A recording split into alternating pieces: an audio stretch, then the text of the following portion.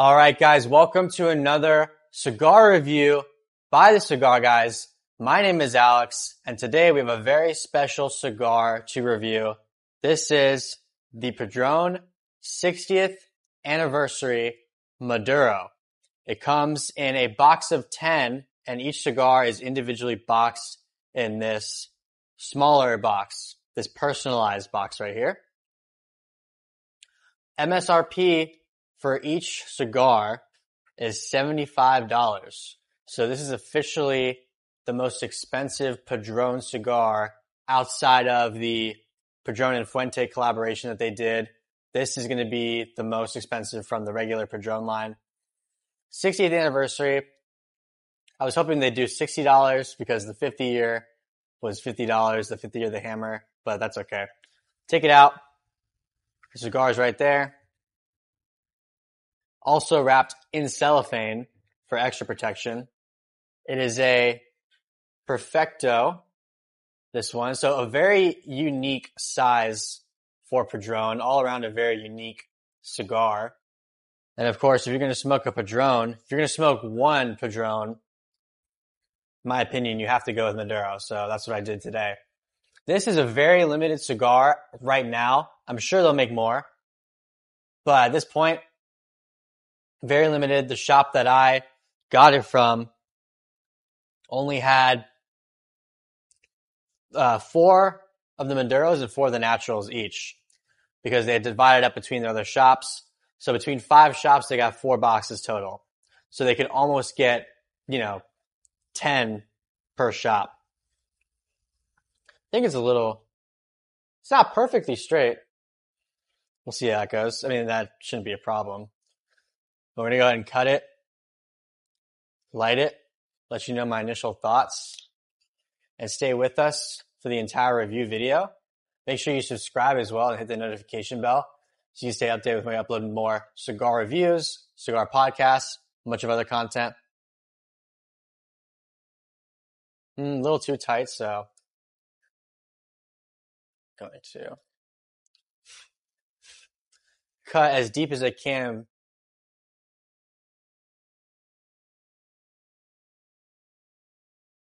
Hmm. Very interesting taste on the cold draw.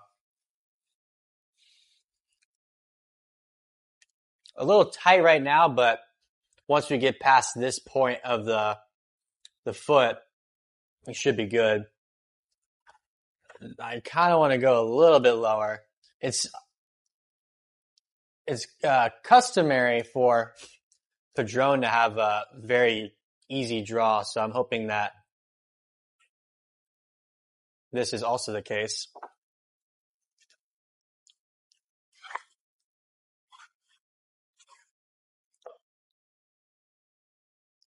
All right, go ahead and light it up.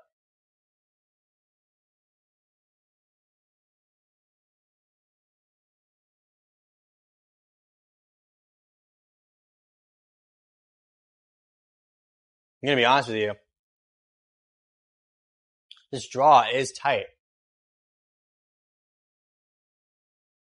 I'm not getting any smoke off it.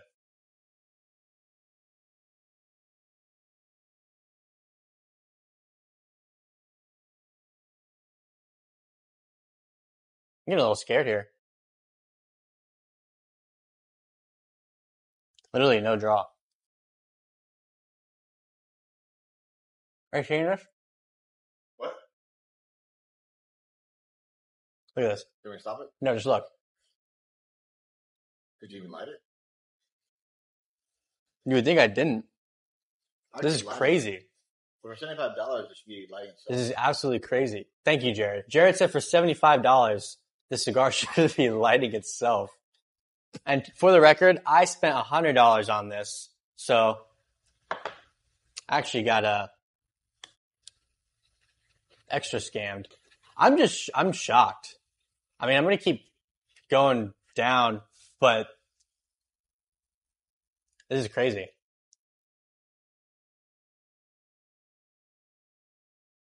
I'm legit getting nothing. I don't want to keep going down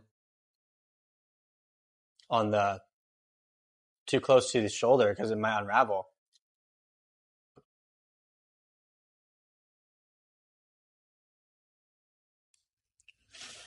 I'm just like burning slowly but surely, trying to get the, the burn line to go down. I'm gonna try and actually let me get this one. I'm gonna burn the the edges here and see if I can open it up.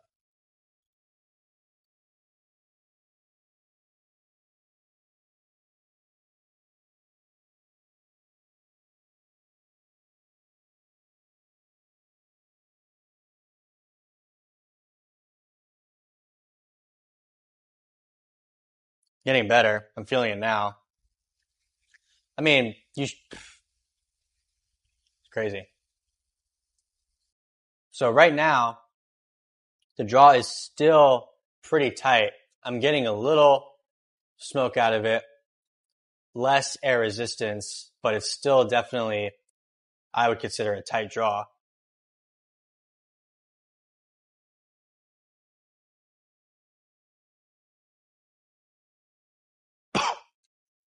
There it is. That that's the draw right there. So, at least for me, once you get past what I would call literally the nipple on this taper here, it opens up quite a bit. Right now, still a little hard to get smoke out of. We're getting there. Hopefully it stays evenly lit evenly burned. Uh, very spicy from those first few puffs I just took, those first real puffs. Very spice heavy, especially on the retrohale. Um, I think I'm getting some cocoa.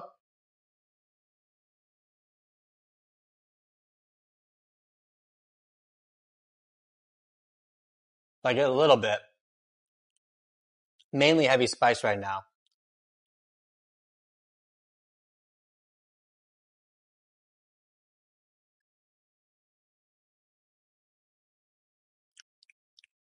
Very, very spice heavy. I'm gonna let it settle down for a bit. Excuse me. I'm gonna let it settle down for a bit. Give it a good five, ten minutes, and then I'll come back. Alright, so it's getting there after that slight concern. Like I said in the beginning too, with the foot shaped like that, it's gonna be a tight draw initially but I've never experienced no draw before. I mean, I had to basically get down half an inch or so before I could get anything, any smoke, and any sort of air coming through. What I'm a little concerned about is, and I didn't say this in the beginning because I wanted to be sure. I took a cold draw and I could taste like almost like a paint smell or taste. I still have a little bit of that when I draw on the cigar. And I think it's because whatever they use to paint this box, it smells like like paint, I guess. It's the best way I could describe it. So when I draw on the cigar, I get a little bit of that. So Slightly concerned about that, but I mean, I'm going to smoke the whole thing. The spice has died down closer to what we usually get from a Padron. Padrones are usually quite spice heavy. Um, initially, it was very, very spicy. Now it's toned down a little bit. It's more uh, enjoyable. The draw is where Padron cigars usually is. Very effortless. Smoke output is decent. Not the best, but it's there. A lot of black pepper. A hint, just the slightest hint of what I think is cocoa. But yeah, mainly heavy spice is what I'm getting mostly. So I'm going to get down to the end of the first third and I'll give you another update. All right, finishing up the first third. Ash is holding on nicely. the burn corrected itself, so it's pretty much now a razor sharp burn. Spice has died down a bit, so now I can taste more of the cocoa, a little bit of like coffee flavor too. Still got some good uh, black pepper flavor notes on there. Smoke output's the same, not too much. And every once in a while, I do still pick up that like paint scent or flavor when I puff on the cigar. So I almost feel like when they made these boxes, they should have just made them all wood, like the uh, Musa de Saka series or um, something like that. Because the paint just smells super strong. It is a beautiful box, don't get me wrong. But if it's going to affect the flavor of the cigar, probably not the best idea. But yeah, besides that spice, a little bit of coffee and chocolatey flavor. I'm not getting too much off of it right now. So maybe it'll transition a bit into the second or third, third. Uh, but until then, we'll see how it goes. I'll be back for more. All right, guys, approaching the band. You know what that means. End of the second third here. Uh, I'm going to be honest with you. Not much change up flavor wise. Burn is so good. Ash is holding on nicely. But right now I'm just getting black pepper.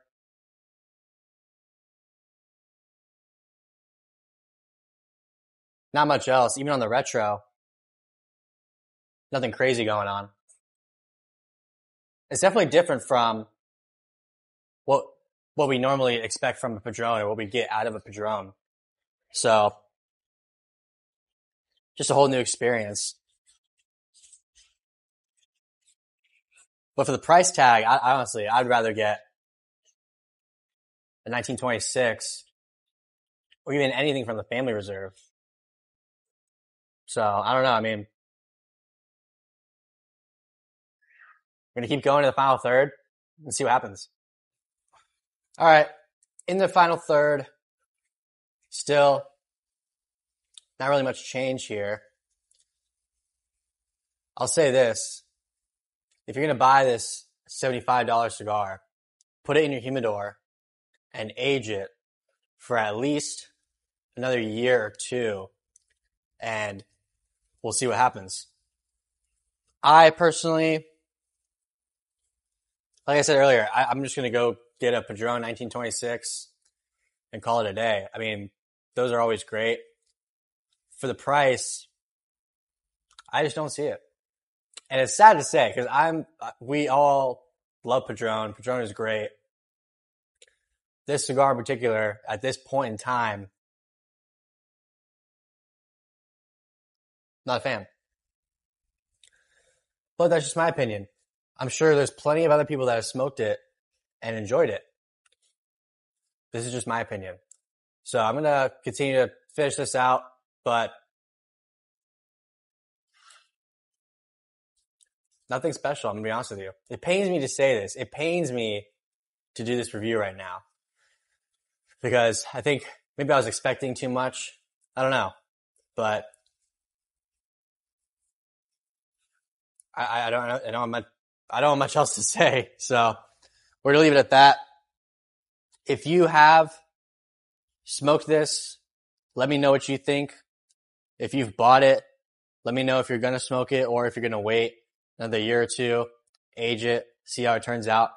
I'm sure these cigars are going to come back and not continue to be a limited series.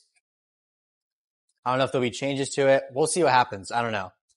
But this was my review of the Padron 60th anniversary cigar.